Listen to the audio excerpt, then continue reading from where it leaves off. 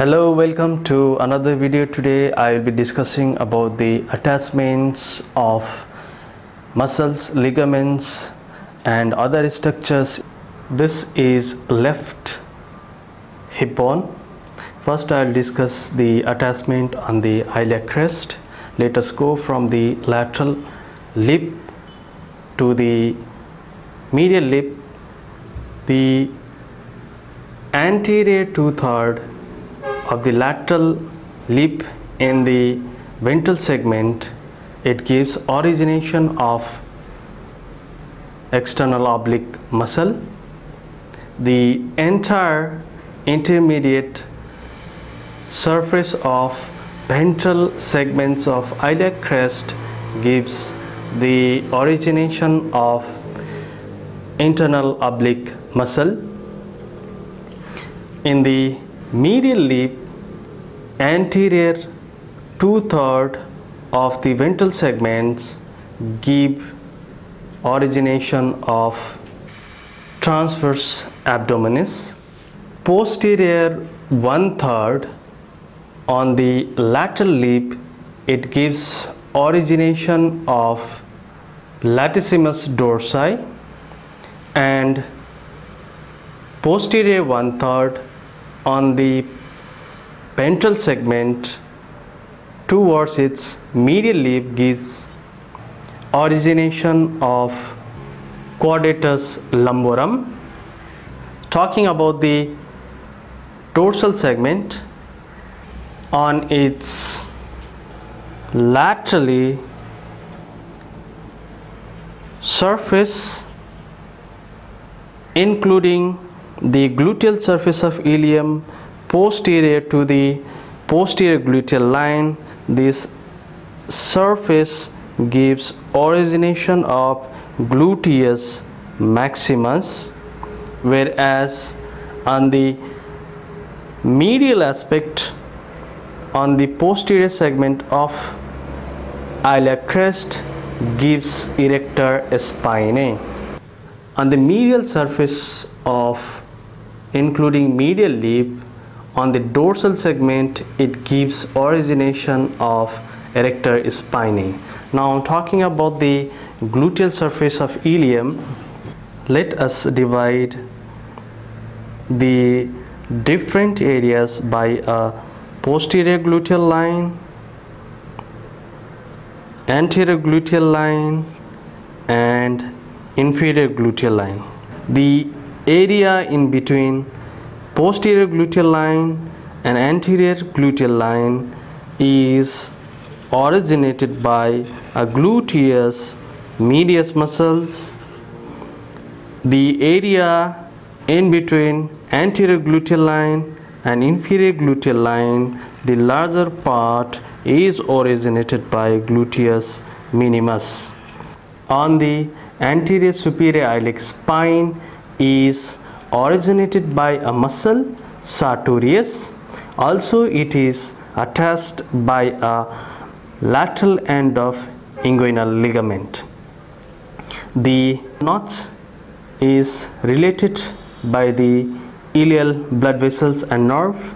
The anterior inferior iliac spine is originated by which is here the straight head of rectus femoris whereas the shallow groove above the acetabular margin gives the reflected head of rectus femoris. The margin of acetabulum gives the attachment of acetabular labrum which continues with the attachment of capsules of hip joint whereas on the ends of lunate surface of acetabulum is transverse by a transverse ligament.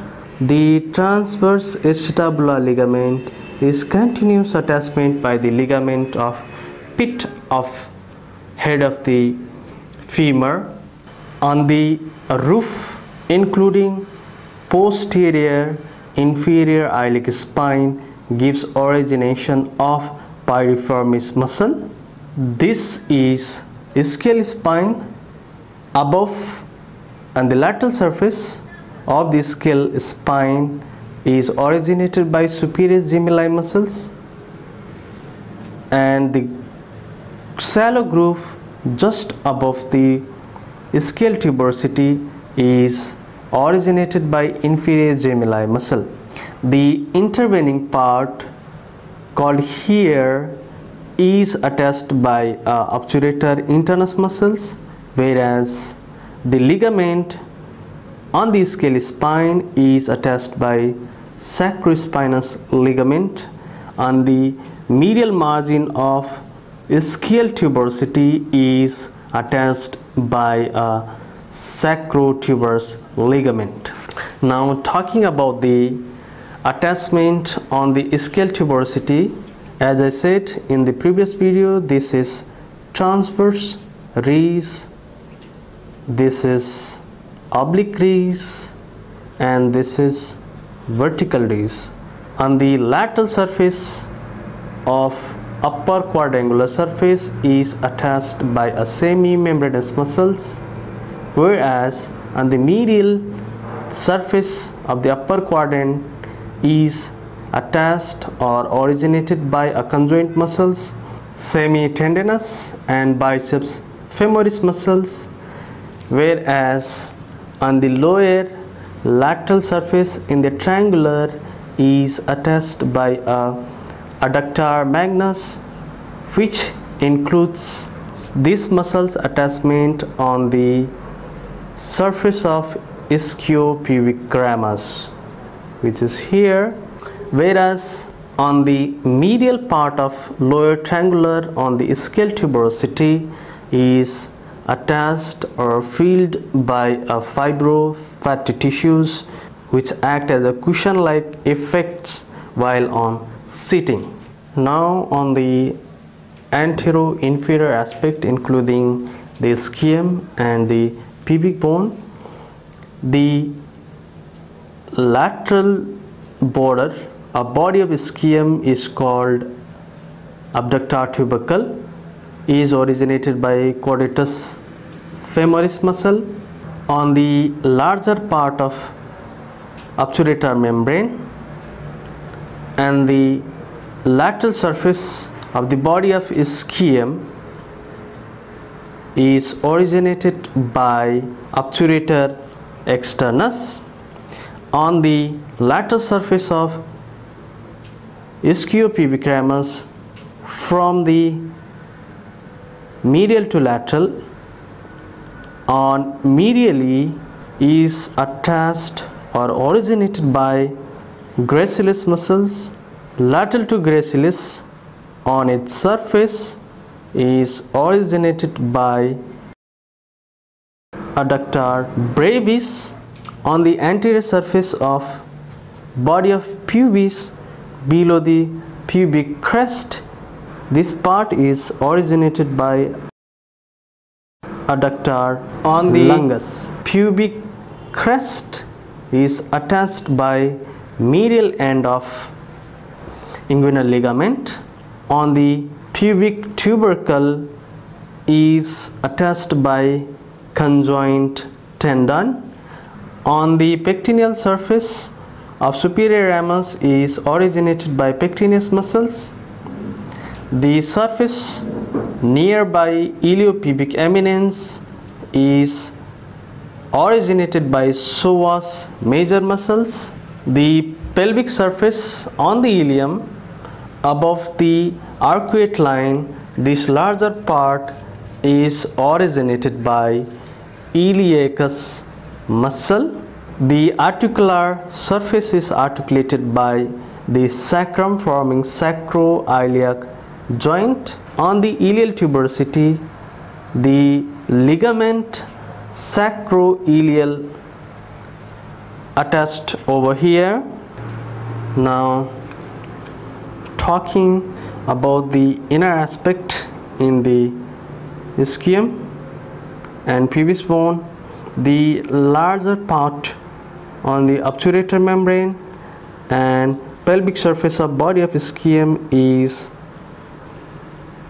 originated by obturator internus muscles and inner surface of ischial spine is originated by coccygeus muscle. Anterior to these coccygeal muscles there is a muscles which inserted called posterior part of levator ani on the medial margin of ischiopubic ramus is attached by ischiocavernosus muscles in the male which makes more prominent and everted outward due to this muscles attachment. On posterior surface of body of pubis is originated by anterior part of levator ani at the mid of inner surface of ischiopubic ramus is originated by superficial transverse perineum muscles at this level on this surface inner ward is originated by sphincter urethrae muscles. Hope from this video is helpful for understanding the attachment of muscles, ligaments and other structure which are related on the entire hip bone. See you next video about the topic of ossification hip bone. Till then, goodbye. Take care.